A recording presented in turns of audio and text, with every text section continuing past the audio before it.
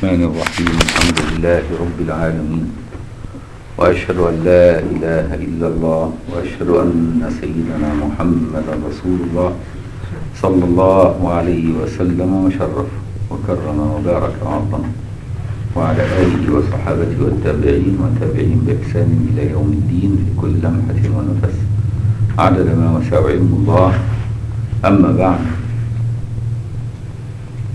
اللهم فقهنا في أمور ديننا ودنيانا وعلمنا ما ينفعنا وانفعنا بما علمتنا وزدنا علما وخذ بأيدينا إليك أخذ الكرام عليك يا رب العالمين برحمتك أرحم الراحمين. أما بعد نكمل قراءة وشرح كتاب فتح القريب المجيب لابن قاسم الغزي في شرح ألفاظ التقريب للقاضي أبي شجاع في فقه السادة الشافعية رحمهم الله تعالى ونفعنا الله بعلومهما وعلوم مشايخهما وتلامذتهما في الدارين. آمين.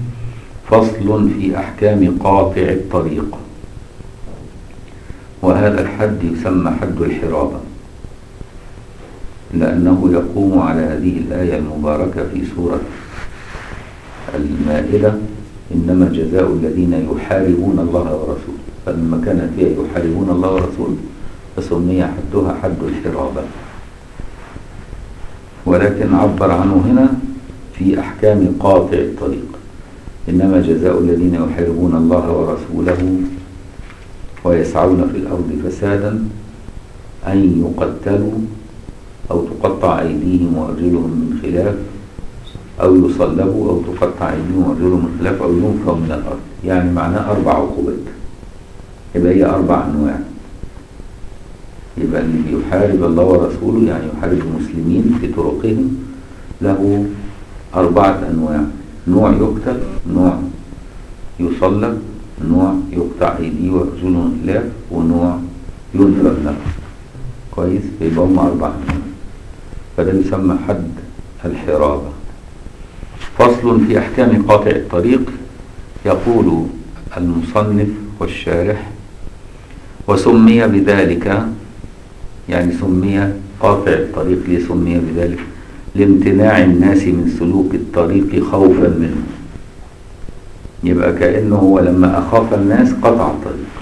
النهاردة حصلت حادثة إيه اللي خطف الطائر؟ أو ده قاطع طريق لأنه منعها من أن تسلك طريقها المعتاد فسلك بها طريق آخر.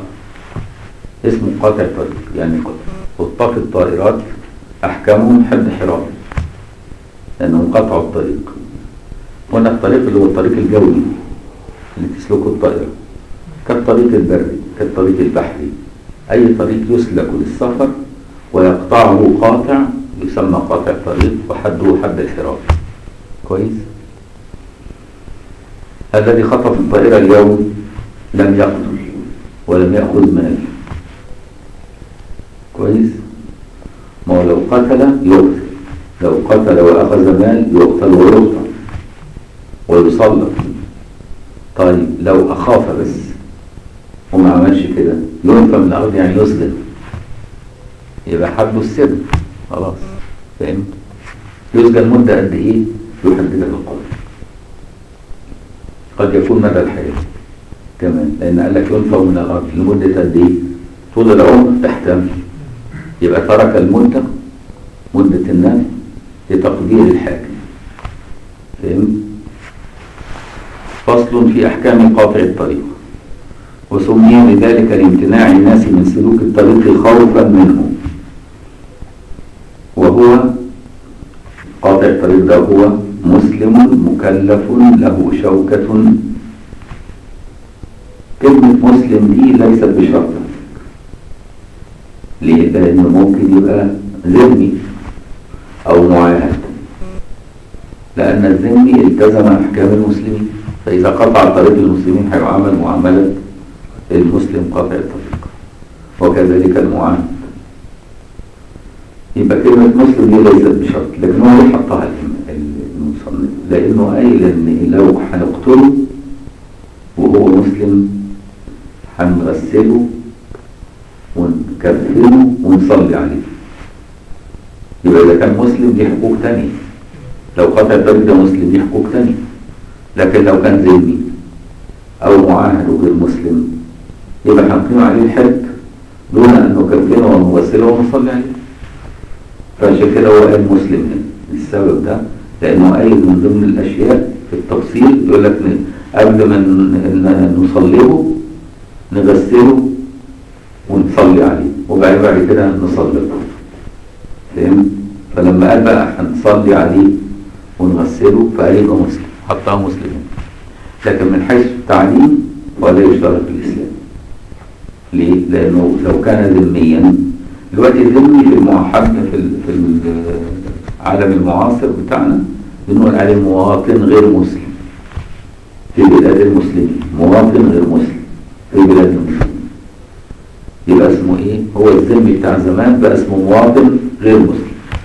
زي المسيحي المصري. مسيحي في مصر وعايش. مع الجنسية المصرية ده مسيحي لكنه مش مسلم. أو ده حكم حكم الذمي زمان. فهمت بقى إزاي؟ فلو قطع الطريق يقام عليه حد قطع يبقى كلمة مسلم دي تحتاج لمناقشة. كويس؟ شرط الإسلام يعني ده يحتاج لمناقشة. يكفي ملتزم بأحكام الإسلام. يبقى يشترط فيه أن يكون ملتزم بأحكام الإسلام إما بأنه مسلم أو بأنه ذمي أو مواطن في بلاد المسلمين أو معاهد لبلاد إسلامية. فيحترم إيه؟ يبقى ممكن نشيل كلمة مسلم ونقول ملتزم بأحكام الإسلام. يخرج الحربي. الحربي أصلا ملوش حرمة. فهمت بقى؟ يعني أنا عايزك لما تقرأ كتب الفقه تبقى مصحصح. تقعد تقرا كده تحفظ وخلاص. مش تحفظ وخلاص دي. فاهم؟ كل كلمة وراها تفصيل. كل كلمة وراها تفصيل. وهذا التفصيل إذا جهلته يحتاج سؤال. وإذا سألت وما جاوبتش تبقى بليد مش مذاكر. فاهم؟ عشان كده كان زمان وإحنا في الدكتوراه لما كنا بنمتحن دكتوراه جراحة كنا كل كلمة نقولها وراها تفصيل. فكان الأساتذة لما يمتحنوني شافوا يقول لي خد بالك كل كلمة هتقولها وراها عقربة. يعني هسألك عليه جاية منين؟ وأصلها فين؟ فكل كلمة مجملة وراها تفصيل يعني بيان. هذا البيان يسموه الم- ال- المشايخ بالأسئلة يقول لك وراها عقربة. هل ده غلبي يعني لازم هسألك وأشوفك. أنت عارف أصلها ولا حافظ وخلاص؟ فاهم؟ فما عندناش حاجة اسمها حفظ فقط حفظ بفهم. حفظ بفهم اجمال وبيان مجمل ومبين. فالكلام هنا مجمل لكن عند بيانه وراه رب فاهم؟ فاهم؟ يقول لك مسلم مش تحفظها كده وتسكت. لا أنت فاهم. إمتى؟ يقصد إيه بمسلم يعني ملتزم لأحكام الإسلام ولو كان غير مسلم. فهمت بقى الحتة؟ دي نقطة مهمة. ومسلم هنا يعني يقصد بيه ذكر. طب افرض امرأة عملت عصابة وقطعت الطريق. تبقى هي هي برضه؟ يبقى لا يقصد الذكوره لا يقصد الذكوره فهمت بقى؟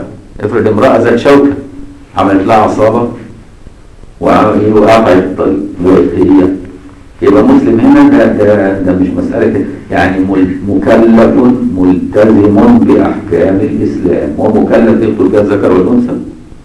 فهمت بقى إزاي يدخل فيها الملتزم بأحكام الإسلام؟ شفت تفصيلتها بقى يبقى كل مجمل له بيانات واللي يعرف المجمل دون البيان يبقى مش عارف.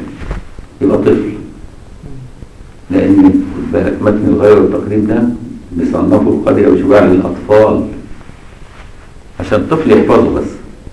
لكن لما يكبر شوية نديله شرح بسيط.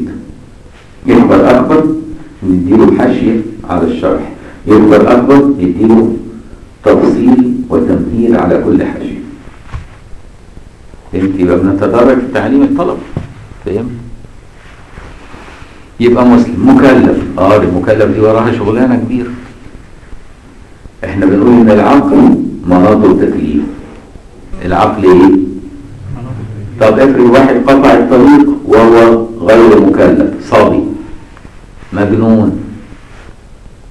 آه يبقى ما اسموش قطع ما نقدرش عليه حد الانحراف أعاقبه أعمل فيه أي عقوبة تعزيريه لكن ما يقولش عليه حد. لأنه غير مكلف. فاهم يبقى كلمة مكلف دي يدخلني معاها مين؟ اللي فقد عقله تعديا السكران المتعدي. واحد أزال عقله بس بإرادته. حكم حكم المكلف بقى. عقوبة دي إيه اللي خلاك تسكر رايح تعرف؟ إيه طريق المسلمين هعاملك معاملة اللي فايق المنتبه. العاقل وانت مجنون. جننت نفسك لأنك تناولت الخمر وأنت تعلم أنها حرام. يبقى اسمه السكران المتعدي. يبقى مكلف هنا؟ يقول لك ولو سكران متعدي. شفت بقى كل كلمة وراها تفصيل إزاي؟ كل إجمال وراها تفصيل إزاي؟ صح صح. وفيها تفصيلة تانية. المكلف لا يؤاخذ إذا كان مكرها. يبقى كمان لابد أن يكون مختارا. فإذا فقد اختياره بسبب الإكراه يبقى ما أقدرش إن أنا أقيم حد على مكره. يعني واحد واقف له من بعيد بمسدس قال له لو ما قطعتش الطريق على السيارة اللي جاية دي هتوخك. خايف.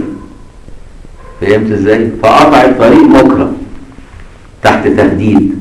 إكراه مهدد وبعدين قبضنا على الاثنين. فالقاضي لما حقق اتضح إن قطع الطريق ده كان مهدد من رجل آخر بتهديد قادر على إنفاذه. لأن مش كل إكراه بقى هنعذره فيه. افرض الواحد ماسك له إيه؟ نبلة. ويقول له لو ما عملتش كده هرميك بالحجرة بالنبلة. إيه يعني؟ مش مكره ده. لأن دي غاية ما هنالك مش هيخاف منها قوي يبقى لابد أن يكون اكراه ملجئ وأن الذي أكرهه قادر على تنفيذ ما إيه؟ ما يؤدي. يبقى يبقى المكلف يدخل مع السكران المتعدي ويخرج منها المكره ويخرج منها الصبي والمجنون. شفت بقى التفاصيل؟ يعني واحد بيستعين بعيال يقطعوا الطريق. فهمت هو ما يخرجش. هو عنده شوية عيال كده أطفال شوارع. لأن عندنا قضية أطفال الشوارع في مصر منتشرة. فهو نقله كمعين من أطفال الشوارع وعمل عصابة من الأطفال. الأطفال دول غير مكلفين. قبضنا على الأطفال. ما نعرفش نقيم عليهم الحد. طب نقيم الحد على اللي علمهم؟ ما نقدرش لأنه لم يباشر. طب نعمل إيه في اللي علمهم وقبضنا عليه؟ عقوبة تعزيرية نحبسه نضربه نجلده. فهمت إزاي؟ لكن مش هنقدر نقيم لأنه لم يباشر الجناية ده بشرها بيد غير مكلف. فهمت بقى المسائل؟ كل دي تفاصيل لازم ذهن الفقيه. إن كنت تريد أن تكون فقيها وإلا يبقى مش هتنفع. فشفت انت قعدنا إحنا اتكلمنا رغي كتير في كلمتين مسلم ومكلف. اتكلمنا قد إيه تفاصيل؟ تفاصيل كتير. كل كلمة وراها إيه؟ عقربه عقربه يعني إيه؟ يعني تفاصيل إن لم تعلمها تلدغ بالجهل. تفاصيل إن لم تعلمها لدغتك العقرب بالجهل. واضح؟ سيدنا هو علمهم مم. اصبح كده مشترك في ال- المعلم ده اللي هو علمهم عامل جناية بس طالما لم يباشرها يبقى لا يقام عليه حد لم يباشر. مش قياس على القتل؟ مش قي- مش قياس على القتل. ممكن بقى تبقى دي, دي محل وجهات نظر في الفقهاء. هل علمهم وفهمهم كده ولا مجرد بس أشار إليهم من بعيد؟ يعني مدى إيه؟ ولا كان بيهددهم لو ما عملوش؟ هيعاقبهم. ولا ولا ولا. وكل ولا من دي؟ ليها مسألة منفصلة فهمت بقى إزاي؟ فما فيش حاجة اسمها عشان كده الأمور دي تحتاج لقاضي القاضي تحقيق المناسب عشان يدي الحكم المناسب لكل قضية على حدة. فليست لها حكم عام. فهمت بقى المسألة؟ يبقى وهو مسلم مكلف. عرفنا التفاصيل في المكلف وعرفنا التفاصيل في إيه؟ في المسلم. له شوكة. له شوكة يعني إيه؟ يعني عنده إيه؟ عنده قوة يقدر يقطع بها الطريق ويهدد بها الشوكة هي القوة. القوة دي قد تكون قوة بدنية؟ يعني إزاي وضع عضلات كده ومجانس ويخوف الناس قد يبقى شوكة. ولو منفردا وقد تكون شوكة بالعدد عامل عصابة وتعدد وقد تكون شوكة بالسلاح ماسك سلاح. فهمت بقى إزاي؟ يبقى الشوكة قد تكون بالعدد وبالبدن وبالهيئة فهمت بقى إزاي؟ فلا يشترط فيه ذكورة ولا عدد. عشان كده قالك ما اشتركش الذكورة لأن قلنا لو المرأة ذات شوكة تخش ولا عدد لأنه قد يكون هو لوحده يغلب عشرة فهمت إزاي؟ من حيث قوة البدن. فخرج بقطع الطريق. أما أن قطع الطريق خرج مين المختلس. وخرج مين النائب المنتهب. في عندنا مختلس ومنتهب. وقطع طريق إيه الفرق بينهم؟ قطع الطريق اللي هو يقف في طريق غير معمور. بعيد عن العمران في الطواحي يقول لك واقف على الدايري بيثبت الناس. في الحته تكون ضلمه كده آه ده قطع طريق لأنه واقف بعيد عن العمران فهمت إزاي؟ يبقى لما يقف في مكان بعيد عن العمران يسموه قطع طريق طيب لو واحد بياخد عيني عينك في العمار دخل عليك المحل بتاعك وأنت فاتح الخزنة فهمت إزاي؟ فراح هددك أو كتبك لحظة وخد من قدامك كده المبلغ وتنواش يبقى منتهي لأنه عين عينك ما نقولش عليه سارق كمان لا ما دي سارق. سارق هياخدها خلسه من حرزين يعني من ورا صاحبه. مش عين عينك كده. فاهم السرقه يسموا إحنا بنتكلم في الشرع ماليش دعوة بالقانون المعاصر. قد يكون القانون المعاصر المعاصر يوصفها توصيف آخر ماليش دعوة. أنا بتكلم على توصيف الشرع.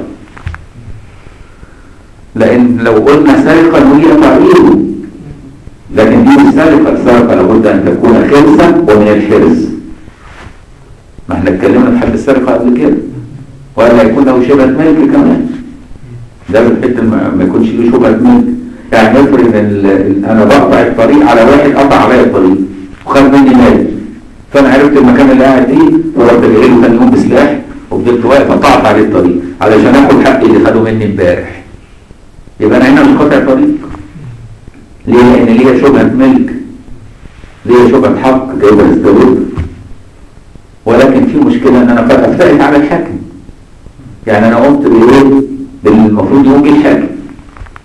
فهمت بقى المسألة؟ فلازم التفاصيل دي كلها لازم تبقى في ذهن القاضي. ما يدركش التفاصيل الصغيرة دي إلا القضاء. فما ينفعش الناس هي اللي إيه تصدر الأحكام وتنفذ. لأن الناس ما تعرفش تميز بين الأمور المتشابهة. يبقى هنا إيه؟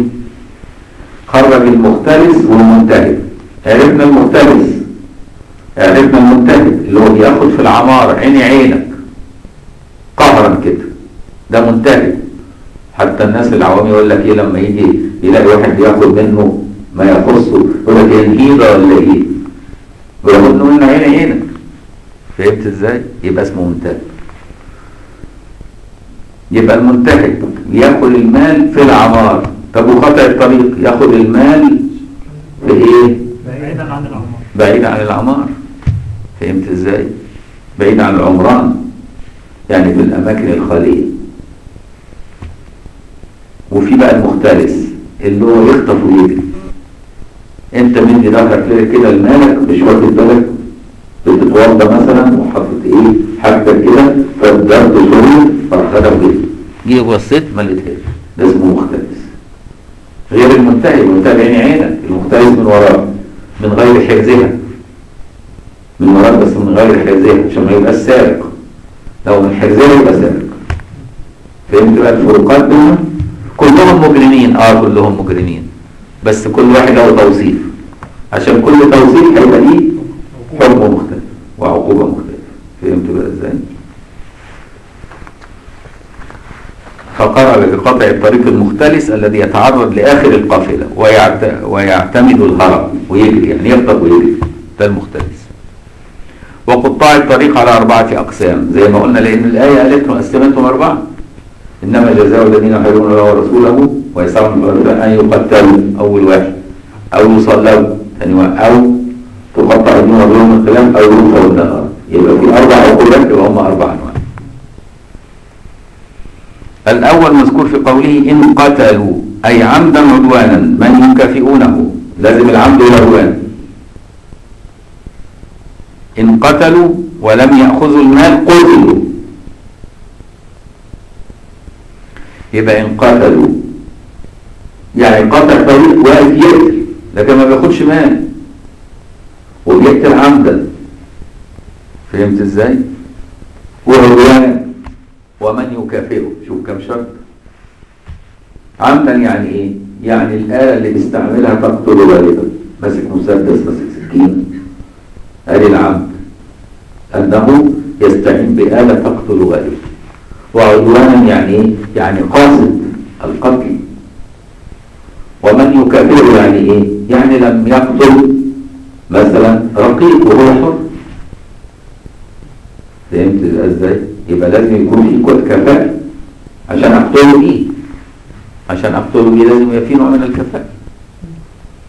طب افرض هو قتل لكن بغير عمد. يعني هو كان واقف يقطع الطريق علشان ياخد المال. وماسك عصاية. عصاية ما تموتش. فهمت إزاي؟ فاللي هياخد منه المال ابتدى يقاومه. وهو ضربه بالعصاية حتى قتله. يبقى ده شبه عمد. يبقى شبه عمد لأنه ما كانش يقصد يقتله. فسميناها إيه شبه عمد طب خليناها شبه عمد ليه مش عمد لأن الآلة لا تقتل غالبا اللي كان ماسكها. الآلة اللي ماسكها لا تقتل غالبا. فهمت بقى المسألة؟ يبقى لازم يسأل عن الآلة عشان يبين هل هو قاتل عمد ولا شبه عمد وهيفرق. لو قتل شبه عمد أو خطأ لا يقتل به. يثبت في حقه الدين يثبت في حقه الدين للمقتول. ولا القتل لا يكون إلا إذا تعمد. يبقى ما يقدرش يحكم عليه بالإعدام شنقا فهمت إزاي القاضي؟ يحكم عليه إنه يدفع غرامة بقدر دية المقتول. أو دية الشيء اللي أفسده. خلع له عينه. يدفع نص دية قطع له إيد. يدفع نص دية فهمت إزاي؟ قطع له أنفه. يقطع دية كاملة. لأن العضو الغير متكامل قطعه دية كاملة والعضو المتكامل افساده نص دية زي ما اتكلمنا عليه قبل كده. المقصد إن كل كلمة وراها تفصيل. كل كلمة إيه؟ وراها تفصيل. شوف عمدا عدوانا ومن يكذب ثلاث شروط. كل شرط ليه تفصيل. ولم يأخذوا المال. قتلوا حتما طالما قتل عمد عدوان وقتل من يكافئه يقتل به على طول انتهينا. واضح؟ طب افرض قتل مجموعة. يقتل بيهم؟ لا. يقتل واحد منهم ويدفع الدية للباقي فهمت بقى إزاي؟ يقتل بواحد مقابل واحد فيهم. ويدفع الدية للباقي فهمت بقى المسألة؟ وإن قتلوا خطأ أو شبه عمد فهمت الخطأ؟ ما كانش قاصد خالص. ده هو واقف يقطع الطريق بس مش في إيده آلة لكن بإيه؟ بقوته كده أو بكثرته بعدده. فلما طلعوا على الراجل أو الست فاتخضت فقلبه وقف فمات من الخضة. يبقى ما كانش قاصدين خالص يقتلوه. فهم قاصدين بس يخبطوه ياخدوا ماله ويمشوا فاهم؟ يبقى دي معنى الخطأ وإن قتلوا خطأ أو شبه عمد أو من لم يكافئوا لم يقتلوا. طب في تفصيلة ثانية افرض اللي قتله ده طالع قاتل عاند متعمد بس طلع اللي قتله كان محكوم عليه بالإعدام وهربان. يعني مصدر الدم يبقى لا يقتل به لا يقتل به لكن يعاقب عقوبة أخرى تعزيرية لتعديه على الحاكم بس فهمت بس صار اللي قطع عليه الطريق كان مصدر الدم. مصدر الدم بحكم قضائي. مصدر الدم بإيه؟ بحكم قضائي مش عند الناس. يعني محكوم عليه بالإعدام بحكم قضائي.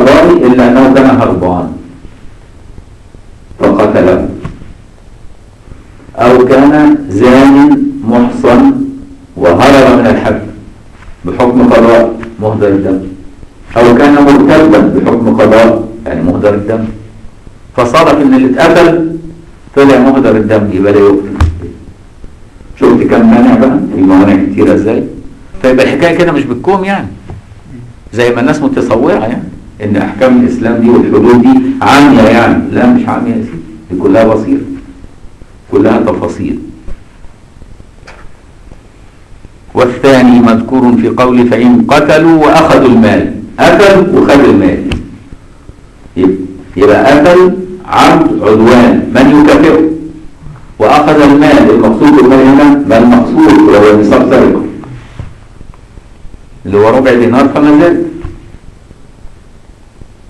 عشان أقطع إيديه من خلاف لأخذ المال لابد إن يبقى النصاب نصاب سرقة فاهم؟ اللي هو ربع دينار.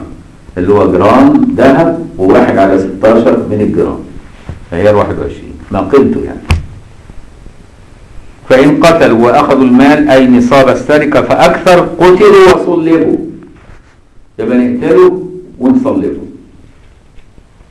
نصلبوا على إيه؟ على خشبة ونحوها. لكن قبل ما نصلبوا على الخشبة هقتله ولو كان قاطع الطريق ده مسلم أعمل فيه إيه؟ أغسله وكفله وصلي عليه وقبل ما ادخله أعمل إيه؟ أصلبه أصلبه ثلاث أيام. أصلبه إيه؟ ثلاث أيام في العمار عشان كل الناس تشوفه. عبرة. يوم الناس تخاف تعمل كده. عادي ها؟ عادي. آه خليه م- مصلوب مش شرط عليه لكن المهم مصلوب على خشبة أمام الناس كده ميت. يقوموا الناس يشوفوه في الميدان إيه ده؟ ده كان بيقطع الطريق في الدايرة. يوم كل اللي واقفين يقطعوا الطريق في الدايرة يعملوا إيه؟ يخشوا بيوتهم بقى وحرهم ده الحكاية مش سهلة. بصلبه ثلاث أيام بعد قتله وبعد تكفينه وغسله والصلاة عليه لازجر غيره. وما إيه؟ وما أصلبوش في مكان قطع الطريق لأن قطع الطريق في مكان ما فيهوش عمار الناس مش هتشوفه مش هيتم الزجر لا ده أنا إيه؟ أصلبه في مكان عمار يشوفوا الناس يقوموا يسألوا ليه عملوا فيه كده؟ آه ده عشان كان بيعمل كده. يقوم كل ينزجر طب والثلاث أيام لازم؟ قال لك لا مش لازم. لو الجو شديد الحرارة ممكن في الثلاث أيام دي ينفجر. يبقى ما لم ينفجر. لو كان الجو بارد ويستحمل ثلاث أيام سيبه ثلاث أيام. طب الجو حار يكفي يوم واحد ويدفن بعد ثاني يوم. قبل ما إيه يتعفن وينفجر فهمت؟ شفت بقى كل حاجة ليها تفاصيل إزاي؟ وعلشان كده قال لك بعد غسلهم وتكفينهم والصلاة عليهم عشان كده قال لك في الآية في الأول قال لك إيه؟ وهو مسلم. فهمت ليه بقى؟ المسلم عشان هي الحتة دي. لكن لو قلنا ملتزم بإحكام الإسلام دول مسلم يبقى الحتة دي مش موجودة. مش محتاج إن أنا أكفنه ولا أصلي عليه. فهمت بقى يا أستاذ؟ طب والثالث خد المال بس وما قتلش. هنا بقى تقطع ايديه وارجلي من خلاف عقوبته تقطع يديه ورجله من خلاف يعني اليد اليمنى ورجل اليسرى. طب عاد تاني اقطع الرجل الايه؟ الايد اليسرى والرجل اليمنى. طب عاد تالت؟ يقتل مش عارف هيقول تالت إزاي هيسال ببقه بقى. لكن اهو بيقول لك. واخد بالك؟ لكن يقتل في والثالث مذكور في قوله وإن أخذوا المال ولم ولم يقتلوا أي نصاب السرقة فأكثر من حرز مثله ولا شبهة لهم فيه. زي ما قلت لك لازم ما لهمش شبهة. فاهم؟ يعني مش بياخد ماله اللي, اللي اتنصب عليه قبل كده؟ لأنه عنده شبهة ملك. لازم ما يبقوش فيه شبهة. تقطع أيديهم وأرجلهم من خلاف. أي تقطع منهم أولا اليد اليمنى والرجل اليسرى. فإن عادوا فيسراهم ويمناهم يقطعان. فإن كانت اليد اليمنى أو الرجل اليسرى مفقودة يعني هو أصلا فاقد اليد اليمنى والرجل اليسرى مفقودين. يبقى يكتفى بالموجود. على الأصح. الأصح يعني في وجه تاني قال لك خلاص إذا ذهب المحل رجع الحكم ويحل محلها عقوبة تعزيرية أسجنه بقى. فهمت بقى إزاي؟ يبقى عندنا وجهين. وجه قال لك يكتفى يكتفى بالموجود أقطع الموجود. وجه تاني قال لك لا. إذا ارتفع المحل ارتفع معه الحكم. فهمت بقى المسألة؟ والرابع مذكور في قولي فإن أخافوا المارين في السبيل. خوفوا الناس بس. زي جدع اللي سارق الطيارة النهاردة لا قتل ولا إيه؟ خد مال. بس خوف الدنيا وقلب الدنيا. آه يبقى ده ينفى من الأرض يعني يسجن. فهمت بقى؟ فإن أخافوا المارين في السبيل أي الطريق ولم يأخذوا منهم مالا ولم يقتلوا نفسا حبسوا في غير موضعهم يعني ينفى من الأرض معناه إيه؟ حبسوا في غير موضعهم ليه غير موضعهم؟ ده أحسن تكون ليه عيلة كبيرة يقوموا إيه؟ يهربوه من الحبس لا ده إحنا نبعده حتة بعيدة عشان ما يبقاش ليه عزوة يبقى حبسوا في غير موضعهم وعزروا أي حبسهم الإمام وعزرهم. يعني يختار لهم عقوبة أخرى. جلد أي شيء من هذا من نوع من الإيلام بجانب الحبس. ومن تاب منهم أي قطاع الطريق قبل القدرة فإن تابوا من قبل أن تقدروا عليهم فاعلموا أن الله غفور رحيم. ويشترط في التوبة إيه؟ إن لو كانت أمور متعلقة بحقوق الآدميين يرجع الحقوق. كان واخد مال يرجعه عشان يبقى تاب فاهم؟ ومن تاب منهم طب افرض التاب وكان قتل نفس خلاص مش هنصلبه لكن نقتله قصاصا.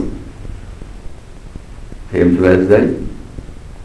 يبقى نقتله قصاصا. مش حد حرابة حد قصاص. فهمت بقى المسألة؟ نعم. صحصح معايا خد بالك. ومن تاب منهم أي قطاع الطريق قبل القدرة من الإمام يعني قبل ما نقبض عليه. يبقى تاب قبل ما نقبض عليه. دي القدرة من الإمام. عليه قبل القدرة من الإمام عليه سقط عنه الحدود. أي العقوبات المختصة بقاطع الطريق وهي تحتم قتله وصلبه وقطع يده ورجله ولا يسقط باقي الحدود التي لله تعالى كزنا وسرقة بعد التوبة أو المتعلقة بحقوق العباد كأخذ مال أو شيء. وفهم من قوله وأخذ بضم أوله بالحقوق أي التي تتعلق بالآدميين. كقصاص وحد قذف ورد مال أنه لا يسقط شيء منها عن قطع الطريق بتوبته وهو كذلك. واضح؟ يعني وهذا معتبر. والله تعالى أعلى وأعلم. سبحانك اللهم وبحمدك نشهد أن لا إله إلا أنت نستغفرك ونتوب إليك وصلي اللهم وسلم وبارك على سيدنا محمد وعلى آله.